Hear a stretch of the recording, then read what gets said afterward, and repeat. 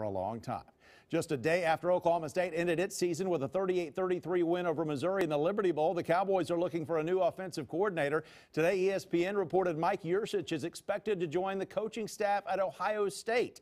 ESPN's report says Yurcich's title is still to be determined, but it will likely involve him coaching quarterbacks. Yurcich has been at OSU the last six seasons. He's from the Cleveland area, so it'd be a return home to Yurcich's home state. As for the Cowboys, the win over Mizzou yesterday was sort of their season in a nutshell, a little of everything.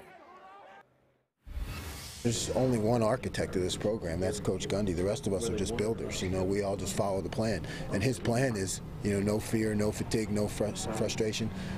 Play all game long, back and forth, up and down, ahead by 14, down by 14. It doesn't matter.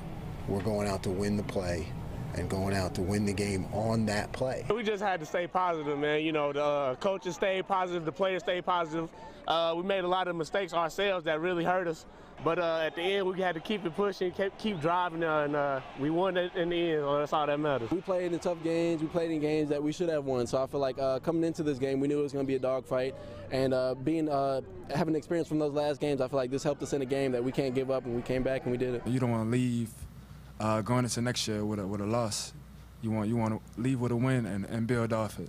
Young guys uh, stepping up next year, uh, like myself, uh, we got to get ready in February. It's, it's going to start right back up.